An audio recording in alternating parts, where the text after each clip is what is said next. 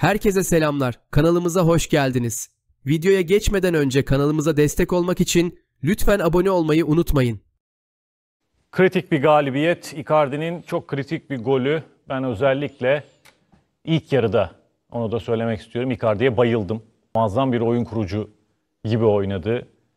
Hep söylüyorum bunu paylaşım da yaptım. Yani zaten var olan yeteneklerine tedrisatının Lamasya olması da eklenince ortaya oyun görüşü ve saha içi liderliği çok acayip bir efsane çıkıyor. Gene gördük onu. Genel olarak da maçı yorumlamanı isteyeceğim sevgili Evren Göz. Zor bir maç olacağı belliydi bir kere. Çünkü rakibin e, hem bir arada oynaması hem fiziksel kapasitesi ki hem maç önü programında hem de daha önceki günlerde hep anlatmıştık. Zor bir rakiple oynayacak Galatasaray diye. Biraz durgun başladı ama onun dışında diğer dakikalarda maçın gelgitli olacağı, rakibin e, pes etmeden inatçı kimliğiyle ve mücadeleci yapısıyla Galatasaray'a zorluk çıkaracağı belliydi. Eksikler vardı Galatasaray'da.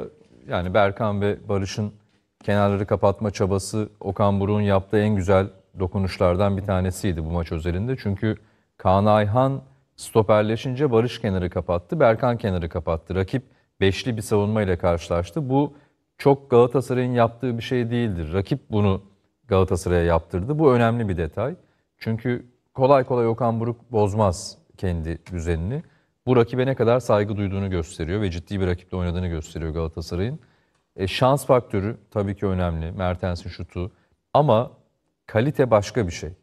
Galatasaray'ın Prag'dan ayrılan tarafı kalite kısmı. Kesin. Mücadele benzer mücadele vardı sahada korakor ama Icardi'nin o topu alması, dürtmesi, uzak köşeye bırakması kalite. Mustera'nın yüzüne çarpan top kurtarış mı çarpma mı bununla ilgili bir gündür şey dönüyor. Tabii. Kurtarış diye yazdım sosyal medyada. Yani çarptı diyenler oldu takipçilerimizden. Saygı duyuyorum ama doğru duruş olduğundan dolayı o top yüzüne çarpıyor. Onu da es geçmemek lazım. Yani kaleci duruşu doğru Mustera'nın. Küçülmedi ki. Evet büyüdüğü için Tabii. zaten ama kötü bir vuruştu onu da Tabii. ilave edelim. Ee, genel hatlarıyla taraftarın desteği, arzusu, Galatasaray'ın Okan Buruk'un basın toplantısında 4 kupa var 4'üne de talibiz demesi. Doğru. Yeni bir başlangıcın işareti. E çünkü bu yeni bir turnuva. Şampiyonlar Ligi'nden sonra Avrupa Ligi'nde Galatasaray devam ediyor yoluna. Barış Alper'in e, maçın önemli noktalarında başrolde olması. Örneğin birinci golde foul yapan taraf, kırmızı kartta foul yapılan taraf, son golde de asisti yapan. Yani Barış'ın pes etmemesi inanılmaz bir seviye. Dün de zaten İngiltere'den izleyenleri vardı Barış'ın. Onu da belirtelim. TRT Spor ekranlarındaki Galatasaray gelişmeleri buraya kadardı. Biraz da gazetelere bakalım. Mauro Icardi'nin mutsuzluğunun sebebi ortaya çıktı.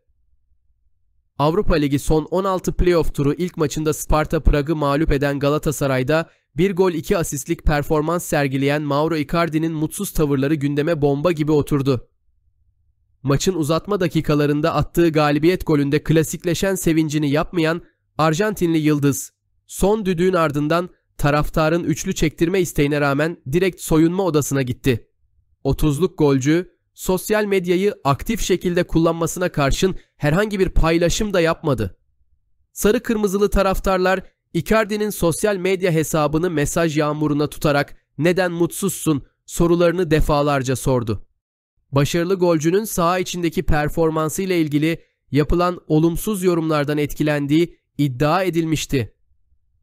Ancak Galatasaray Kulübü Icardi'nin can sıkkınlığının sebebinin özel bir nedeni olduğunu, kulüple ilgisinin bulunmadığını bildirdi. Başarılı oyuncunun teknik heyet ve takım arkadaşlarıyla da bir sorunu bulunmuyor. Eşinin rahatsızlığından dolayı coşkularını bastırdığı iddiaları ön plana çıktı. Yönetim, Icardi'nin özel hayatına çok müdahil olmak istemiyor. Icardi'nin sosyal medyadan yaptığı son paylaşımda inzivaya çekilme mesajını vermesi de bu iddiaları güçlendiriyor. İtalyan basınında son dönemde çıkan haberlerde ise Icardi'nin İtalya'ya dönme isteğinden bahsedilmişti. Arjantinli golcü ile Inter ve Juventus'un ciddi şekilde ilgilendikleri de haberlerin detaylarında yer almıştı. 30 yaşındaki golcü oyuncunun Galatasaray ile olan sözleşmesi 2026 yılının Haziran ayında bitiyor.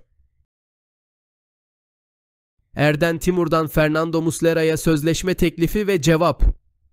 Galatasaray'da yönetim yeni kontrat önerdi. Uruguaylı file bekçisi ise adres olarak sezon sonunu gösterdi. Fernando Muslera'nın sözleşme için yapılan teklife bunu şimdi konuşmak istemiyorum biraz bekleyin diye yanıt verdiği belirtildi. Sparta Prag maçındaki harika performansı ve son dakikalardaki olağanüstü kurtarışıyla dikkat çeken Galatasaray kaptanının sezon sonu bitecek sözleşmesi yeniden gündeme geldi. Erden Timur'un 13 yıldır başarıyla sarı kırmızılı formayı giyen Uruguaylı eldiven ile görüşerek "Devam etmeni istiyoruz. Galatasaray'da çok önemli işler başardın. Herkes seni çok seviyor ve performansın da gayet iyi. Birkaç sene daha neden oynamayasın?" dediği öğrenildi. Türkiye'de ve Galatasaray'da son derece mutlu olduğu belirtilen tecrübeli kalecinin ailesiyle birlikte karar vereceği ifade edildi. Galatasaray'da savunma denklemi Sarı Kırmızılılarda bu maç öncesi savunma hattındaki belirsizlik dikkat çekiyor. Galatasaray Teknik Direktörü Okan Buruk, Sparta Prag maçının ardından yaptığı açıklamada yeni transfer Sergi Aurier'in Afrika Kupası'ndan sakat döndüğünü açıkladı. Fil dişili futbolcu bu karşılaşmada forma giyemeyecek. Galatasaray'da Sparta Prag maçında sağ bekte görev yapan Kaan Ayhan ise sakatlanarak oyundan çıktı. Deneyimli oyuncunun durumu yapılacak, son kontrollerin ardından belli olacak. Galatasaray Teknik Direktörü Okan Buruk'un Kaan Ayhan yetişmezse Ankara gücü karşısında sağ bekte Barış Alper Yılmaz'a forma şansı vermesi bekleniyor. Son dönemde Berkan Kutlu'nun da yeniden bu bölgede oynaması bekleniyor. Yeni transfer sol bek Derek Köhn de ilk kez Ankara deplasmanında sahaya çıkabilir. Galatasaray, Ankara gücü maçının ardından 22 Şubat'ta Sparta Prag deplasmanına gidecek. Çekya ile oynanan ilk maçta kırmızı kart gören Victor Nelson cezası nedeniyle mücadelede takımını yalnız bırakacak. Okan Buruk'un Nelson'un cezası nedeniyle sahaya Sanchez, Abdülkerim Bardakçı tandemi ile çıkması bekleniyor. Galatasaray'dan ayrılacak mı? Menajeri açıkladı. Galatasaray'ın en çok konuşulan transferlerinden biri de Tete oldu. Sarı Kırmızılılar son olarak Shakhtar Donetsk forması giyen ve adı Fenerbahçe ile de anılan Brezilyalı futbolcuyu da renklerine bağladı. Büyük umutlarla transfer edilen 24 yaşındaki Yıldız performansıyla beklentilerin altında kaldı. Ara transfer döneminde takımdan ayrılacağı konuşulan Tete'nin ülkesi Brezilya'ya döneceği ve Gremio ile Palmeiras'ın oyuncuyla ilgilendiği öne sürülmüştü. Brezilya'da transfer dönemi devam ederken Tete'nin menajeri Pablo Bueno oyuncusunun ülkeye dönüş ihtimali üzerine konuştu. Brezilyalı gazeteci Jorge Nicola'ya açıklamalarda bulunan Bueno, Tete'nin Palmeiras'a transfer olma olasılığının bulunmadığını söyledi. 24 yaşındaki futbolcunun Brezilya'ya dönme şansı olmadığını belirten Pablo Bueno, Tete'nin Galatasaray'dan ayrılması halinde kariyerini Avrupa'da sürdüreceğini vurguladı. Tete bu sezon Galatasaray formasıyla 32 maça çıktı. Brezilyalı futbolcu 3 gol ve 4 asistlik bir performans sergiledi. Sarı Kırmızılılarla olan sözleşmesi 2027 yılına kadar devam eden Tete'nin sözleşmesinde bir yılda opsiyon bulunuyor. 24 yaşındaki oyuncunun güncel piyasa değeri ise 20 milyon euro.